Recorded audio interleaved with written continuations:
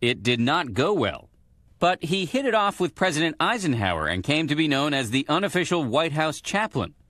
He befriended and vouched for JFK, helping him overcome anti Catholic prejudice. He stuck with Johnson through Vietnam and Nixon through Watergate, and offered his prayers and counsel to every commander in chief through the rest of the 20th century and into the 21st.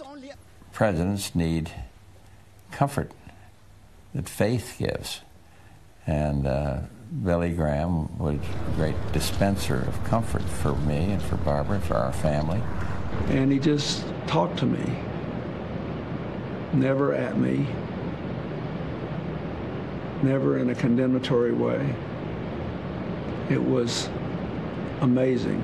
President George W. Bush even credited Graham with helping him to quit drinking and turn his life around.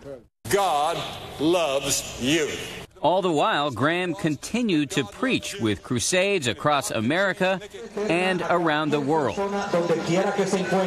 Unlike fellow evangelists Jerry Falwell and Pat Robertson, Graham steered clear of divisive issues such as abortion and the culture wars, preferring a gospel that would unite. We need to trust in God, and we need to put our faith in Him as a nation. There were, however, moments of controversy. He was caught on a Nixon White House tape talking about Jews having a, quote, stranglehold on the media, a comment he later said he deeply regretted. Even at the height of his fame, Graham lived a simple life in North Carolina with Ruth, his wife of 64 years, who died in 2007. The greatest need in the world today is a transformation of human nature to make us love instead of hate. At the time of his final crusade in 2005, he told ABC News he looked forward to the day he would meet God in heaven. I said to the Lord, Why did you choose me? I came from a farm. I never dreamed that I'd be preaching to people in different countries. And I'm going to ask the Lord, Why did you choose me? Because I believe I was chosen. To Billy Graham, only one opinion mattered. I want to hear one person say something nice about me, and that's the Lord. When I face Him, I want Him to say to me, Well done, thou good and faithful servant. Billy Graham, a towering figure in America, as we said, one of the most, one of the major evangelical figures of the last century. His influence uh, stretched for so long. I want to bring in Dan Harris, who, who just did that piece. And Dan, remind everybody. I mean, of course, uh, Billy Graham's influence lasted for so long, but he was such a towering figure in the middle of the last century. A, a towering figure, not only in politics but in American culture.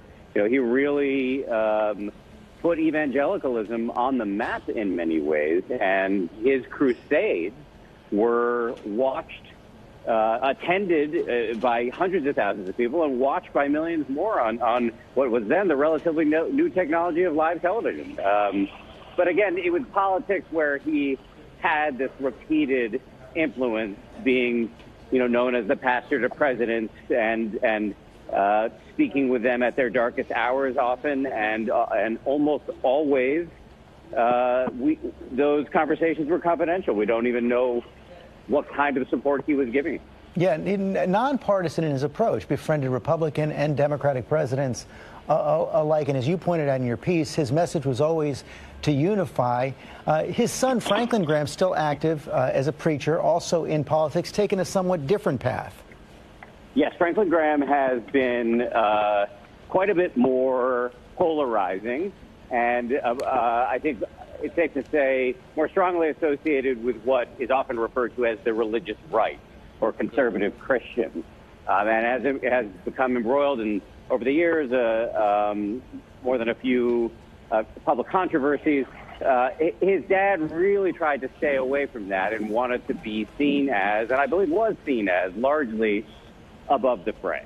Evangelist Billy Graham has died at the age of 99. We're going to return now to our regular program. For many of you, that is Good Morning America. First, we'll have a complete wrap up tonight on World News Tonight with David Muir. This has been a special report from ABC News.